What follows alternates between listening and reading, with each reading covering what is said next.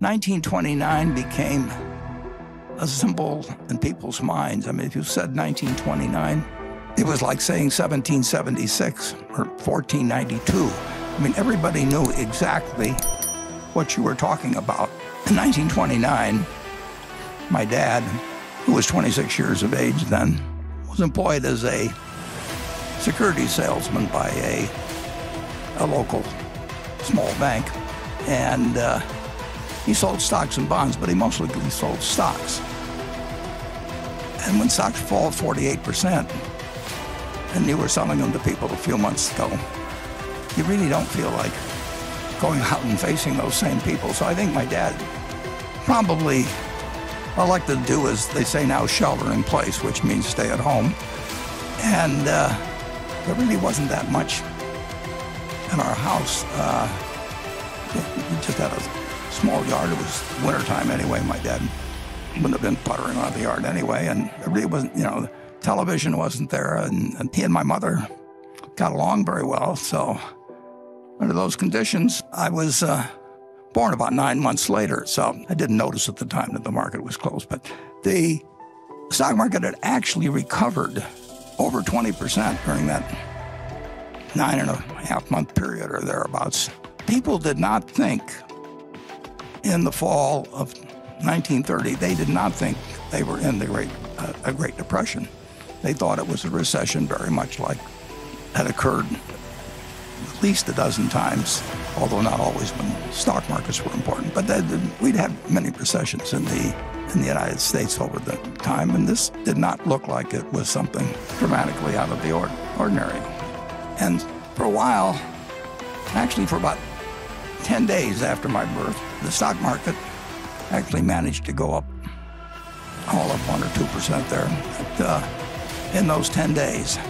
But that's the last day. Uh, well, from that point, the uh, stock market went from level of 240 to, to 41, which was a noticeable decline because uh, if somebody had given me $1,000 on the day I was born and I bought stock with it, my $1,000 would have become uh, $170 in less than two years. And that is something that none of us here ever experienced. That uh, we may have had it with one stock occasionally, but but in terms of uh, having a broad range of America marked down 83 percent in two years, and marked down 89 percent of the peak. Was in September 3rd, 1929 uh, was extraordinary. And in that intervening period, less than one year after I was born, just slightly less than one year, my dad went to the bank where he worked and had his account. And of course, the bank had a sign on it closed. And uh, so he had no job. He had two kids at that point, And his father had a grocery store, but Charlie and I both worked for my grandfather. Charlie worked there in 1940. I worked there in 1941, so we didn't know each other. But but my grandfather said to my father that, uh, don't worry about your groceries. Howard, he says, I'll just let your bill run. that was my grandfather, not exactly. Uh, he, he, was, he cared about his family, but he wasn't going to go crazy. And uh, one of the things as I look back on that period, and I don't think the economists generally like to give it that much of a point of importance, but if we'd had the FDIC 10 years earlier, we, the FDIC started on January 1st, 1934. It was part of the sweeping legislation that took place when Roosevelt came in. But if we'd had the FDIC, we would have had a much, much different experience, I believe, in the in the Great Depression. People it on Smooth Smoot-Hawley, and they, I mean, they, they, uh, there's all kinds of things, and, and the margin requirements in 29, and all of those things entered into creating a recession. But if you have over 4,000 banks fail. That's 4,000 local experiences where people save and save and save and put their money away, and then someday they reach for it and it's gone. And that happens, you know, in all 48 states, and it happens to your neighbors and it happens to your relatives. it has to have an effect on the psyche that's incredible. So one very, very, very good thing that came out of the Depression, in my view, is the FDIC. And uh, it would have been a somewhat different world, I'm sure, if the bank failures hadn't just rolled across this country with people that thought that they were savers found out that they had nothing when they went there and there was a sign that said closed. Uh, so the Great Depression went on and it lasted a very long time, but it, it lasted a lot longer in the minds of people than it did actually in its effects. World War II came along, and on sort of an involuntary manner, we adopted Keynesianism. We started running fiscal deficits, of course, that were absolutely huge and took our debt up to a percentage of GDP, which we've never reached, had never reached before, and never reached since. So we had an enormous economic recovery, but the minds of people had been so scarred, the memories. Parents told their children. 1929 became a symbol in people's minds. I mean, if you said 1929, it was like saying 1776 or 1492. I mean, everybody knew exactly what you were talking about. And it affected stock prices in a rather remarkable way. It was January 4th of 1951 that the kid who was born on August 30th in 1930 had finished college before the stock market got back to where it was uh, at that earlier time. So take the years from 1920, 1930, or 1929, really, to 1951, or take the year from my birth, 20 years.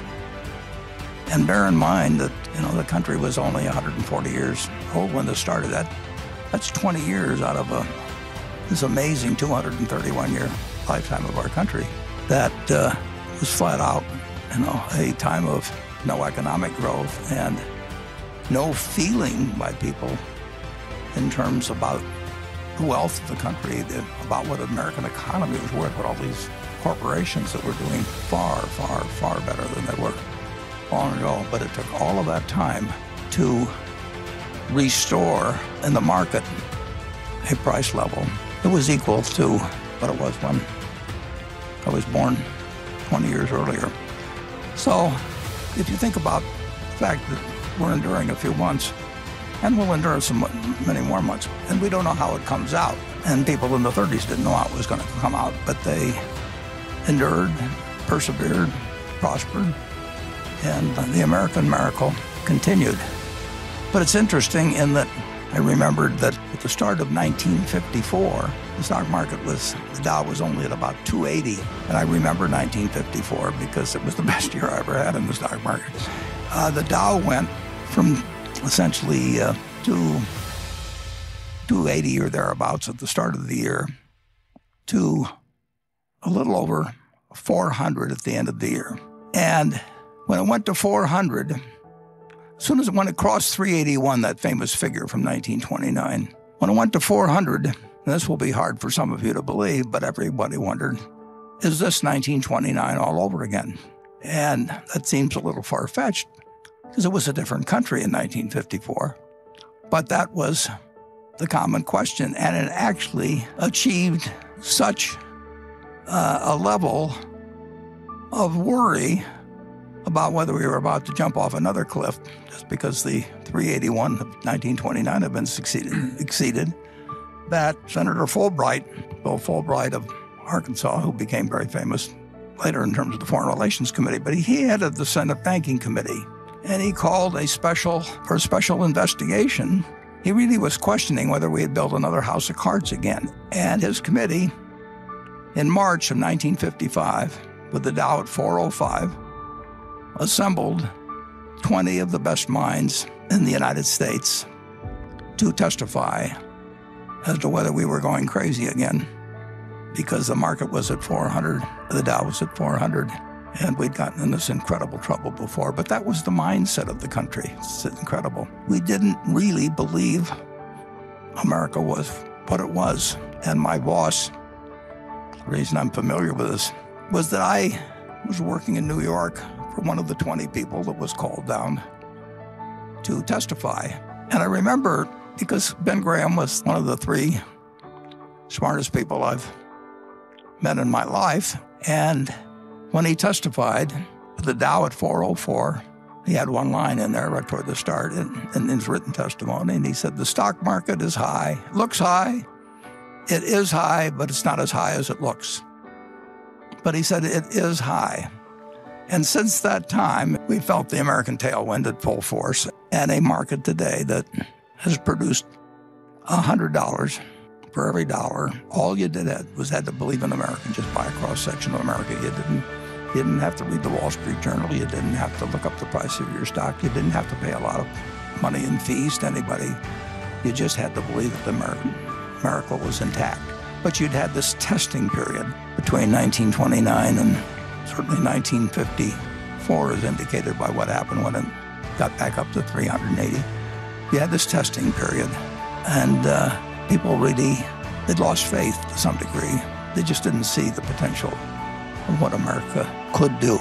And we found that uh, nothing can stop America when you get right down to it. And uh, it's been true all along. It may have been interrupted with the scariest of scenarios when you had a war with one group of states fighting another group of states. And it may have been tested again in the Great Depression, and it may be tested now to some degree. But in the end, the answer is never bet against America.